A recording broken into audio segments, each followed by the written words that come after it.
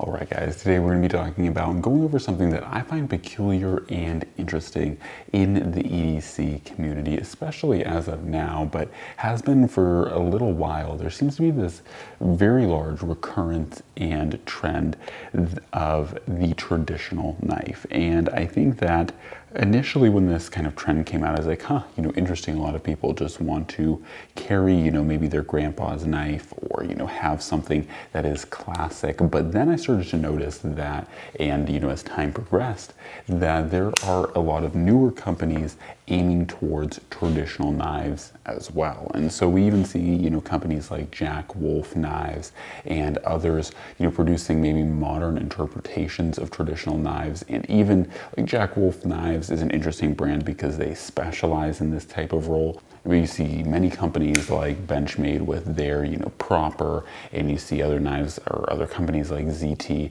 with their like, you know, designs of slip joint knives that are, you know, more traditionally inspired, just using modern tools. And so this has been definitely a recurrent trend for the past few years, and I think it's continuing to get larger and more predominant in the EDC community. And it's one of the trends that, you know, there's a handful out there that just kind of blow my mind. And and really make me wonder why in the world this is. In fact, there's even some, I've mentioned, you know, brands that are making classical knives and you know like or making modern interpretations of classical knives um, and once again some like GEC here um, or Great Eastern Cutlery that are, you know, making modern day traditional knives in the traditional fashion.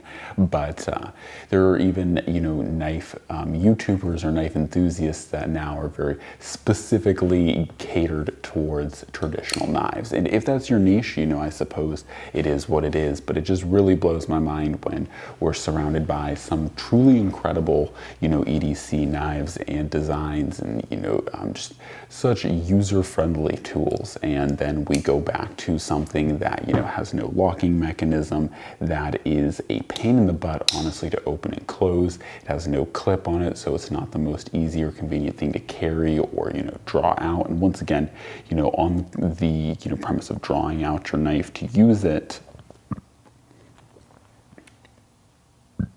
which is what you would do with a knife, you know, to open it and, you know, cut things with it. You know, you go back to a traditional knife that is neither user friendly nor um, particularly carryable. So it kind of just makes me chuckle in that way that, you know, it's like, I think a lot of people get enamored by the romance of traditional and old school knives.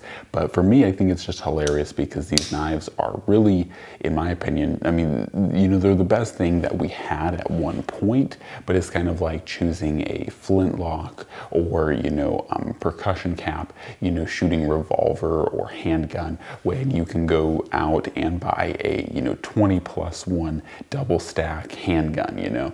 It's, it's one of those things, or nine mil handgun, I should say. So it's one of those things where it's like in modern times, you know, you have access to so much vastly better tools that you would purposely or willing, willfully, you know, um, handicap yourself to using a you know kind of tool that is honestly just not really that user friendly, especially when we consider once again the whole objective of carrying a knife, especially in everyday carry, is for you to be able to you know quickly use it to cut open a package, maybe you know cut some food up, you know do just general basic life tasks, and so you know in that will a traditional knife you know um, fill those roles? Yes, but it will not fill those roles as well or as easily or as intuitively as modern knives do. So for me, it's always kind of boggled my mind that we uh, are going back to or making modern, you know, representations, like I said, like Jack Wolf knives that, you know, they make modern,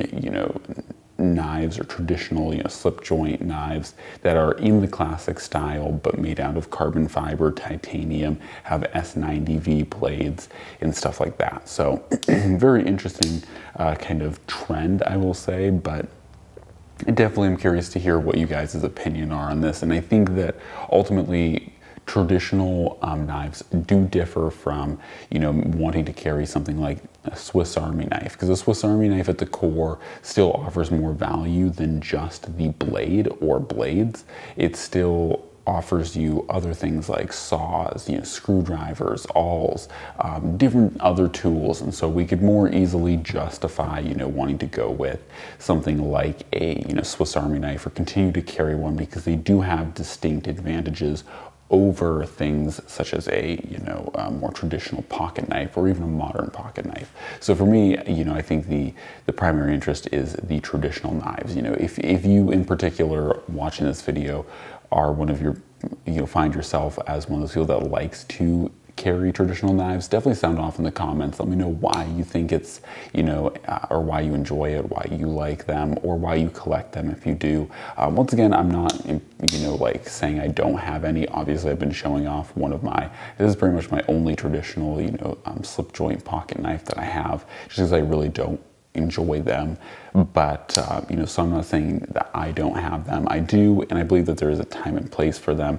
And I'd say probably the largest um, benefit to going with a traditional knife, as you can see with this traditional knife, is that with slip joint kind of locking mechanisms and how they work, it is far easier to make a slip joint that has multiple blades on it, as opposed to trying to make a, you know, like liner lock or frame lock or, you know, one of the more modern kind of lock styles with multiple blades, you know, a blade on each end or multiple blades on each end. So I will say that is probably one advantage to the slip joint kind of classical style knife is that they are far far more intuitive to put multiple blades in. So if you're looking for a knife that can have either multiple blade shapes or potentially multiple, you know, um, blades to be used throughout like a period of time without having to resharpen them, then you do see some advantage in a traditional knife.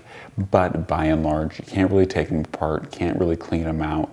And um, once again, they don't lock, they don't in my opinion, have the best ergonomics, especially when it comes to opening. And I think that's the thing that a lot of people are lost on is, you know, the ergonomics of holding a, you know, traditional knife is one thing. And I think that for the most part, most good designs most you know good designs are that way but at the same time too um, when it comes to opening just about any you know traditional knife they are not very intuitive. And as I've said in other videos there's been many times where I've nicked myself trying to open a slip jointed blade just because of the way that you have a poor grip um, trying to open and or close them. So anyways, guys, hopefully enjoyed the video. Hopefully you guys can sound off in the comments. Give me some reasons why you or why you think people like to um, EDC traditional knives. I don't really get it because, like I said, having owned a handful, I still have one myself in my collection. I'm not the biggest fan of them personally, but there are quite a few people. And once again, it's kind of like